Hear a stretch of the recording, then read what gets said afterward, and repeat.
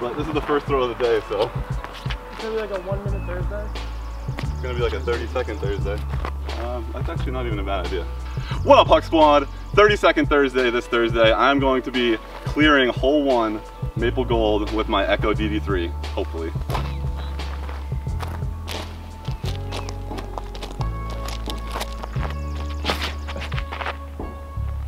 That's in the drink, my guy. I'll think that's up. Get That's up, a get little up. short.